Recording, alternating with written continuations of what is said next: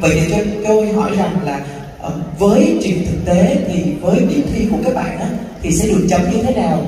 Công bằng với tất cả mọi người hay là những thí sinh đã có kinh nghiệm và có ờ, danh hiệu khi đến với vòng vũ thì các bạn sẽ bị chấm khắc khe hơn hay như thế nào và cái câu hỏi cuối em cũng muốn hỏi cho rất là nhiều fan sắc đẹp đang đặt ra câu hỏi rằng là trong những cuộc họp báo gần đây nhất của Hoa hậu hoàng vũ Việt Nam thì đều thiếu vắng hậu hai Thúy Vân, thì cho em hỏi rằng là có phải trong vì một cái lý do gì đó hay một mối quan hệ nào giữa hoàng hồn vũ và Thúy Vân khi mà liên tục những buổi họp báo quan trọng đều vắng mặt?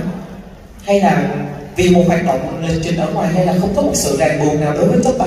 Xin cảm ơn.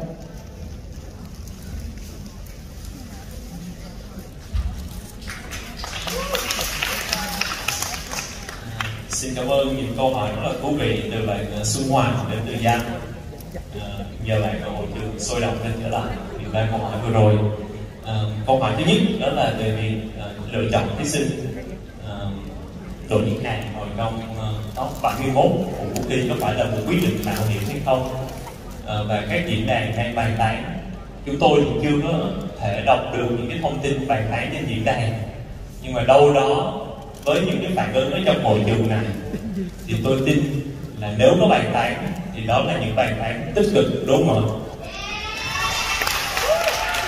tôi xin hỏi hội trường này có ai phản đối giơ tay lên không ạ. Đúng không ạ. Tôi nhớ cái khoảnh khắc mà cái vé này được trao thì tôi bước xuống uh, hà bước ra khỏi khán đài và cả cái khán đài đó vỗ tay. Và khi tôi bước xuống thì để biết tôi không làm việc thì lo khóc không không biết là khóc vì mừng cho Hà hay mừng cho mình. Nhưng mà tao khóc. Ở khoảnh khắc đó và cái quyết định này khi chúng tôi lựa chọn là chúng tôi đã cân nhắc rất là kỹ được quy chế của cuộc thi. Là trong quy chế của cuộc thi thể lệ lựa chọn và những quyết định do ban giám khảo lựa chọn phải là quyết định chính thức. Và chính vì vậy việc tham gia của một thí sinh truyền giới ở đây chúng tôi gọi là khách mời danh dự của chuyên truyền hình thực tế. Bạn sẽ tham gia trải nghiệm như một thí sinh. Và nếu như uh, ở đây trong trường hợp này á thì tất cả những cái tóc mà đặt đổ uh, ờ, nhân hàng lọt vào đều sẽ là uh, cộng một. Tức là ví dụ 70 và hà 40 và hà thì đây mới là cái từ chữ cộng một thật sự được mọi người. Mọi người hay hiểu cái chữ cộng một thì đây mới là trường hợp cộng một thật sự. Tại vì bạn không giành lấy một cái cơ hội tranh giải của ai hết.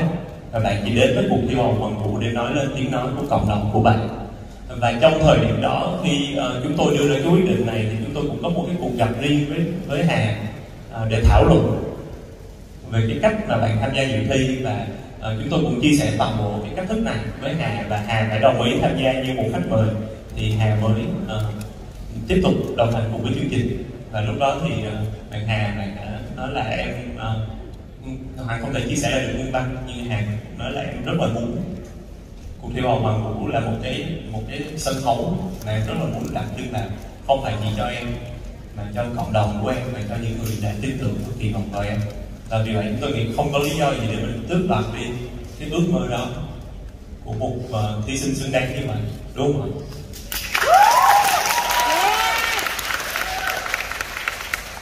Điều thứ hai à, câu hỏi thứ hai là chuyên truyền thực tế năm nay sẽ được diễn ra như thế nào? Thì ờ, đối với chuyên truyền thực tế thì năm nay chúng tôi sẽ có hai uh, huấn luyện viên và các thí sinh sẽ được chia làm hai đội. Thử thách đầu tiên sẽ là thử thách mang tính sàng lọc để lựa chọn ra đội chiến thắng. Một phi vân à, thật ra thì tôi nghĩ là một cái câu hỏi như này cũng à, không phù hợp để hỏi uh, tức là trả lời public nhưng mà điều đầu tiên chắc chắn là nếu mà vân không tham gia được thì đó chắc chắn phải là một lịch trình bất khả kháng uh, à, ở họp báo lần trước là ngày 22 tháng 2 nếu tôi nhớ không lầm thì uh, không biết thông tin thì Vân có chia sẻ public hay không nhưng Vân có một vấn đề sức khỏe và Vân phải nhập viện. Uh, gấp vào trong ngày hôm đó. Và tôi nhớ là đến ngày hôm sau lúc chúng tôi quay truyền thực tế thì uh, mặc dù cái vết mổ của bạn vẫn còn nhưng mà bạn vẫn đến cái trường quay truyền thực tế tại vì uh, với vai trò của một bệnh nhân vừa hồi phục cho nên là uh, Vân không tiện chụp mình chúng tôi nghĩ là mối quan hệ của chúng tôi không nhất định lúc nào cũng phải chụp hình này đủ trên thảm đỏ. Thì mới thể hiện sự thân thiết đó.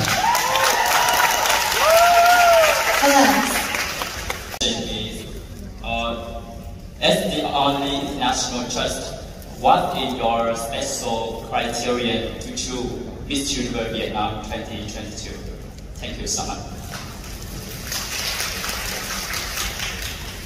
Thank you. My feeling is that as we are evolving all together as a human race, we are getting more inclusive and we're getting more tolerant and accepting of all different people, of all different lifestyle choices, and of different opinions as well. So I'm truly, truly happy to see that Miss Universe Vietnam organization is stepping up and taking this fantastic progressive role into accepting a transgender contestant this year. So congratulations to all of you for taking this wonderful step and to the judges who have done this amazing job in letting our wonderful transgender contestant to have this chance. I was truly touched by watching the story earlier and I can see that how wonderful it is for everyone to come together and celebrate diversity and